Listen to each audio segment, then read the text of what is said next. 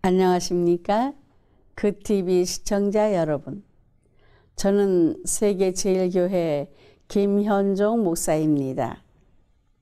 오늘은 우리가 의롭게 산다고 살았지만 하나님 앞에 얼마나 죄스러운 것이 많은지요.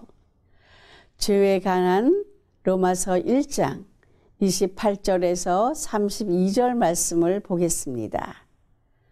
또한 저희가 마음에 하나님 두기를 싫어함에 즉 하나님 뜻대로 살려고 노력하지 않았기 때문에 하나님께서 저희를 그 상실한 마음대로 내어버려 두사 합당치 못한 일을 하게 하셨으니 곧 모든 불의, 추악, 즉 로마서 1장 27절에 동성애 같은 죄와 탐욕, 악의가 가득한 자요.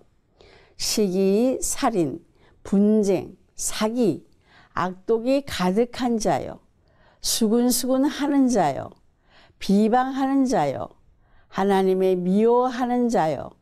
능력, 즉 폭행이나 협박이나 불법으로 부녀자를 간음하는 자요. 교만한 자요. 자랑하는 자요. 악을 도모하는 자요. 부모를 거역하는 자요. 우매, 즉 둔하고 고집이 센 자요. 배약하는 자요. 즉 약속을 어기는 자요. 무정한, 즉 인정이나 동정이 없는 자요. 무자비한, 즉 슬픈 자를 사랑하지 않는 자요. 저희가 이 같은 일을 행하는 자는 사형에 해당하다고 하나님의 정하심을 알고도 자기들만 행할 뿐 아니라 또한 그 일을 행하는 자를 옳다 하느니라고 말씀하셨습니다. 또 요한계시록 9장 20절에서 21절 말씀은 이 재앙에 죽지 않고 남은 사람들은 그 손으로 행하는 일을 회개치 아니하고 오히려 여러 귀신과 또는 보거나 듣거나 다니거나 하지 못하는 금, 은, 동과 목석의 우상에게 절하고 또 그 살인과 복술과 음행과 도둑질을 회개치 아니하더라 고 하시고 특히 회개치 않는 것이 죄라고 말씀하셨습니다. 요한계시록 21장 8절 말씀에서도 그러나 두려워하는 자들과 즉 시편 23편 4절에 안위하시나이다 라고 즉 평안하게 해 주신다고 말씀하셨는데 그 말씀을 안 믿으니까 두려운 것입니다.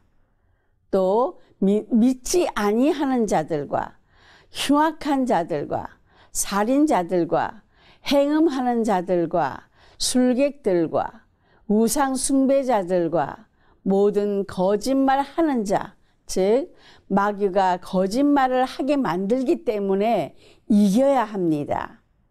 또 불과 유황으로 타는 못에 참여하리니 이것이 둘째 사망이라고 죄를 알려주셨습니다.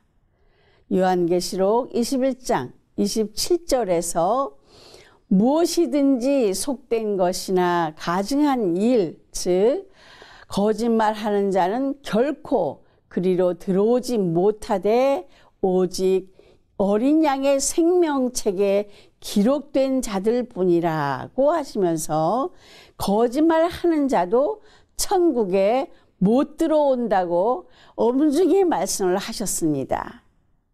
요한계시록 22장 15절 말씀에서도 개들과 술객들과 해금자들과 살인자들과 우상 숭배자들과 및 거짓말을 좋아하며 지어내는 자마다 성 밖에 있으리라고 하신 것도 성 밖에 즉 천국 밖에 있게 될 것이라고 거듭 말씀을 하셨습니다.